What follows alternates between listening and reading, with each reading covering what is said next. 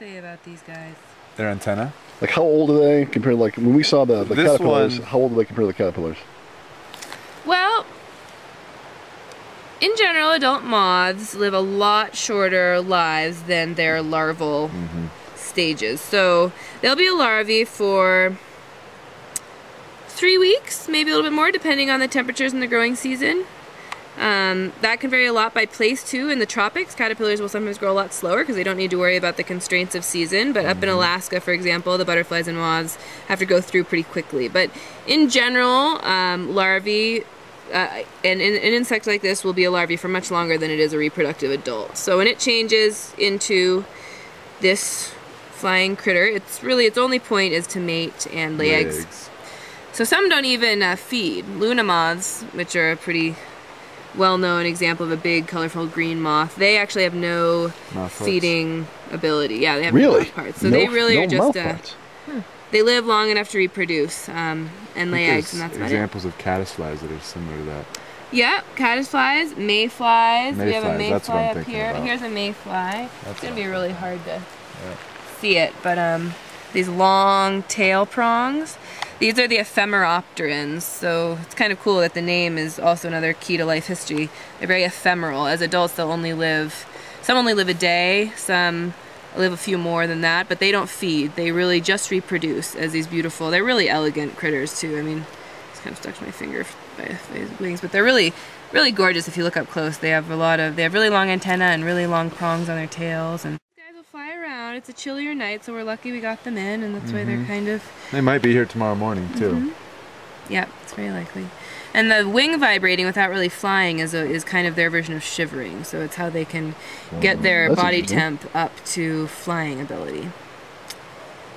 And these guys are just deciding to not really worry about it. I'm giving off quite a bit of heat through my hands at this point. Oh, so that's why they like it. yeah, no, I'm Like, just, oh, yeah, I'm you're just kidding. but Oh look, these are nice. The, ge- the geo on your pants is nice. Oh yeah. Yeah. So what else? What else can we say about these guys? Isn't there Geo right here? Are they usually active at night? Or they just act, they're usually just not active and they see the light and they're coming on over. Well, they're mom. Oh, they're attracted to the heat. Step on one. Um, caddis. Um, these are night active species. To find day active species of moths, of which there are many, um, you have to go out collecting during the day. So there are some species of this family that have totally clear wings. Um, and they fly just like hummingbirds and they fly during the day. And nectar on flowers just like hummingbirds and zoom around. They're also sphingids. Um, they're really beautiful. This is not a moth. It's a caddisfly on my finger that just threw down again. And it um its larvae are the guys that make little um, tubes out of stones and uh, twigs. They make And- tubes out of twigs and stones. They glue them together into a makeshift shell, Do and then use a they foreign live substance, so of like their own saliva or They use their own something they secrete? saliva. Uh-huh. Mm-hmm. and uh, and then they live inside as a larvae. They're aquatic, and they hatch out into this winged adult, which is the reproductive stage. And um, people actually sometimes put these guys, these larvae, in an aquarium with beads or with um, precious stones, and then they make their shell out of um, this tube, out of whatever is available. Oh. And then when they hatch, you can use that case that they've made as a bead, or it's kind of fun. There are a couple Wow. little cottage industries in that. I'm sure they aren't big buck makers, but it's still pretty, pretty, pretty nifty. And what uh, what species is this you're holding? Uh, Well, this is from the family, the same one. This is both sphinx moths. Sphinx? So sphingid. So I think that's the most common around here, the most attracted to the light at this time, or Uh, I don't think they're the most common. I think they're the most, uh, I want to say beautiful, but enigmatic. Right? These are the ones that you recognize. They're kind of like everybody. When the girls were out here last week, this is like the one that everybody was really. Uh, the one you want to hold and cuddle with. Exactly. I was like, wow, so beautiful. Right? And these are obviously two different species of the same family. Right? So both of these are sphingids.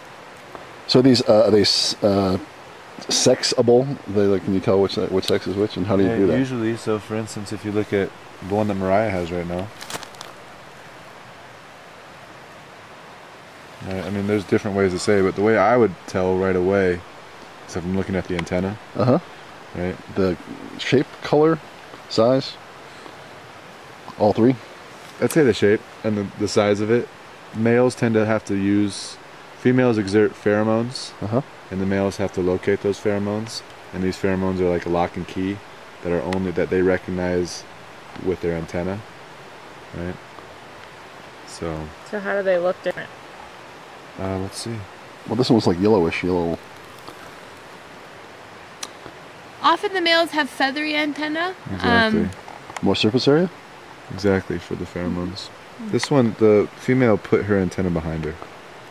so here, Oh, yeah? Oh, there it is. what they have. So So it might be two males.